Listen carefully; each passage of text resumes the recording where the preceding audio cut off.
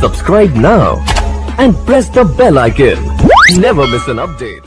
Structural model of silo created in SAP 2000 for taking effect of seismic and wind on foundation and pedestal column.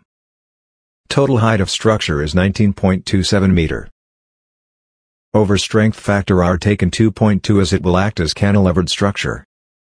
A 7 to 16 used for define wind which taken as 100 miles per hour on structure.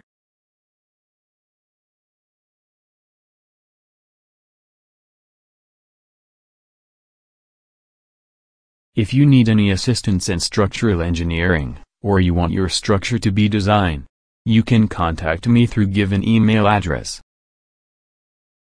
Do like, share, and subscribe to my YouTube channel.